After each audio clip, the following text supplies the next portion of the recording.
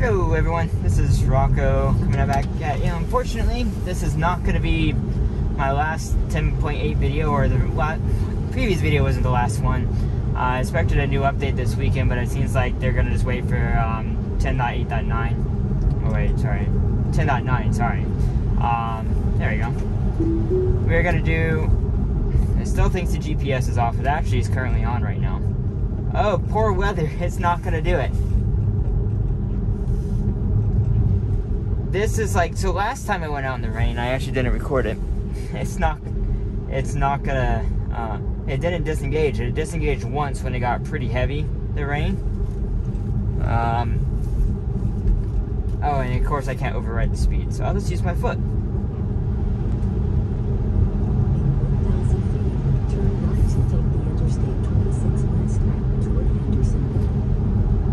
So speaking of this, with the clearly this is a current limitation, uh, purposeful limitation.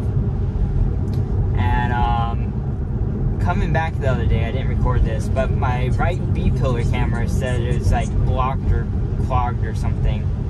Um, and so we're actually going straight here. We don't want to take that route, so this works out. But yeah, my B pillar camera was um, clogged up the speed limit changes back to 25. It's a 40, look, it's a 45 mile an hour road. It doesn't just ma magically turn to 25 mile an hour uh, in the underneath the freeway there. That doesn't make any sense. So fortunately, we got full self driving back. Let's see how it does here on this uh, these curvy roads with rain. Um, so yeah, what I was saying, the B pillar camera was all blocked. Uh, said it was blocked, and it disabled lane changes on Navigate and Autopilot. Now, I don't recall if I've ever had that for full self-driving, but on Navigate Autopilot, it definitely happened. Um, as you might notice, I have new wipers now. Uh, so those are cleaning um, much better. I still need to clean the windshield. It looks like it's still something, some type of residue on it. So I definitely need to clean that uh, still. Uh, another side note is I changed my winter tires. Um, we finally got cold weather here. Like I got down into the 20s. Uh, poor weather detected. See, right now it says poor weather detected, but it's still working. So for whatever reason, I'm gonna put this in full screen mode so you can see more of it, see it easier. Um, but yeah, so I wonder like how full self-driving can recognize different tire types because uh, it can already recognize when you're low on tread life they can recognize that based on the revolutions, uh, which is pretty pretty amazing. I don't know why it's pretty simple, but it seems it seems kind of kind of magical. It tried to turn there, and this is wrong. Right here is the correct turn, and it's trying to stop again for this yield. So so someone had made a comment that Dirty Tesla Chris from uh, Dirty Tesla said that Tesla hard coded yields. That's what it actually seems like. Whether or not that's true, I don't know.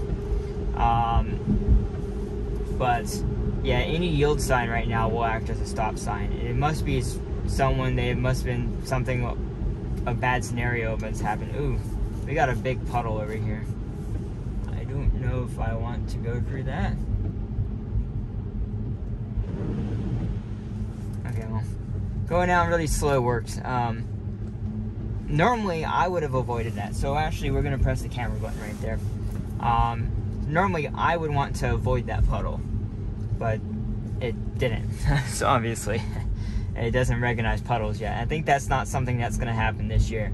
Like normal driving is going to get really good this year. like stuff like that, I hope will be resolved. Like normal, stay in the lines, go around traffic. Like normal everyday driving is going to get really good. Um, but it's still gonna have there's all those little edge cases that you don't see very often like that large puddle of water.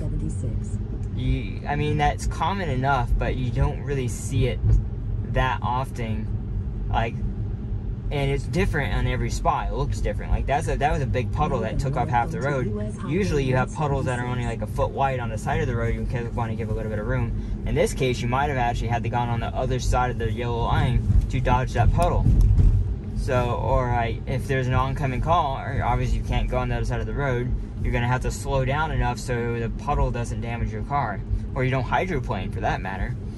Uh, so that type of stuff is um, critically important. My guess is Elon says level 4 by the end of 2022. Let's be honest, it's not going to happen. Maybe next year. Maybe. It depends on the rate of progress. They've had really good progress um, in the last year. It's hard, I think, for a lot of people to tell that haven't had the beta since last year. And I can tell, I can assure you, the beta, it is substantially better than it was last year. Substantially better uh, than it was uh, last year. In terms of like overall smoothness and all that stuff is the biggest thing. Routing better. Um, I'm hoping V11 does some work on routing. It just there's still issues where it turns the blinker on for around curves. It gets in the wrong lane. That that's I think what is holding us back from making this like really quite incredible. The smoothness in 10.8 has been awesome. Um, probably some of the best. And knock on some wood we got some is real wood. um, I suspect um, phantom braking is pretty, it's like 90% gone in this build. It's, it's been pretty good. I still get phantom braking, no doubt, but it's mostly gone. And so, really, really happy about that. As I say it, we just phantom brake. um, but yeah, and we have map data. It's no longer 55 mile an hour on this road. It is a 45 on this road all the way through. And then it goes down to 40 actually uh, in a later spot. It's just, um, we can't be going 55 because there are police cars that do watch on this road. So it's not, not good to do that.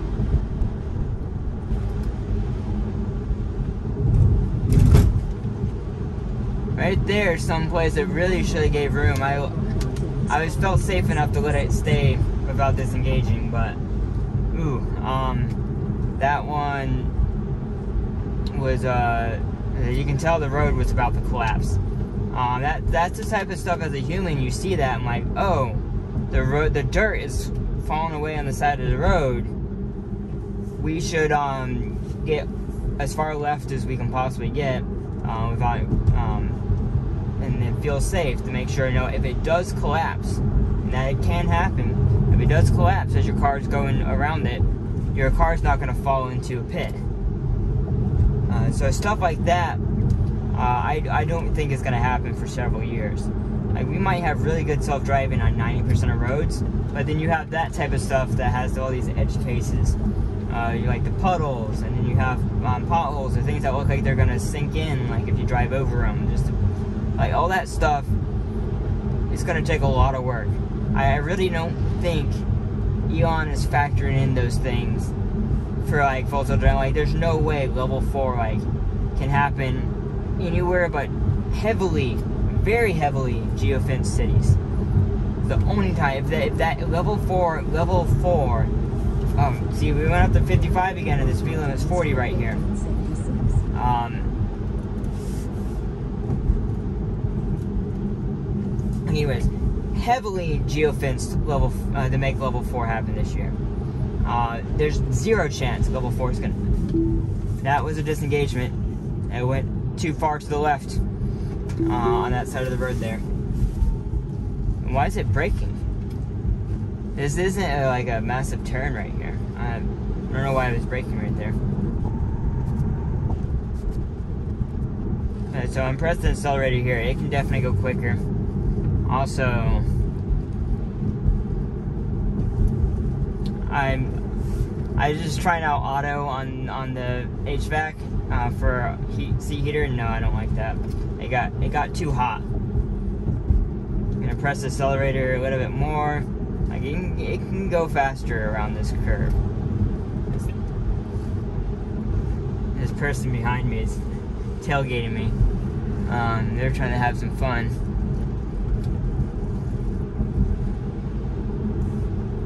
It really isn't fast. Like 40 is like a good, solid, comfortable speed um, right here. It really is. Like it's trying to brake right here. I'm like, it doesn't need to brake right here. Like I could go 50 around this before I started feeling fast. Um, and gonna actually up it a little bit, just so it doesn't slow down as much. Now, it comes down to personal preference. I don't know. For me, I'm pretty comfortable going around curves at higher speeds. But you get someone from like Indiana that comes down here, or like anywhere that has straight flat roads, um, then it very well could. Um, uh, what am I trying to say? Uh, they could not like going around curves very fast, and they might prefer to go slow around curves. And so that's going to be like the weird average point. Like no one's going to be happy. Like I want it to go faster, and you got someone from Florida or someone from out, like out west that's all, all flat and no curves. Like then they're to be like, oh, I, I want it to go slower because I don't feel comfortable at these speeds. Uh, which I mean, I guess you could always just manually slow it down. Um, if it's not going fast enough, you can like lower your set top speed, uh, which is easier than raising the top speed. Because if I raise this to 50, like back at the straight road, they go 50 around these curves um, on a lot of these would not, especially in the rain, would not be safe. Um, they go 40, 45, totally safe.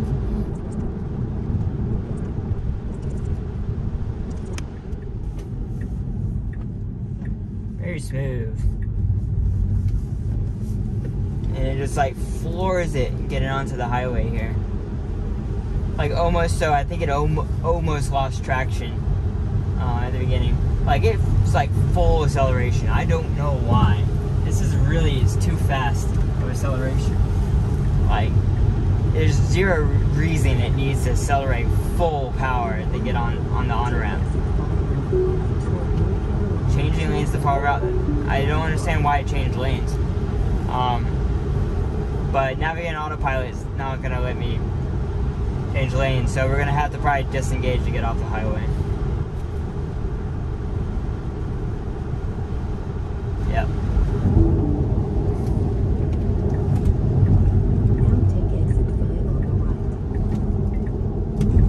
Let's see if it's gonna convert back to full self-driving here.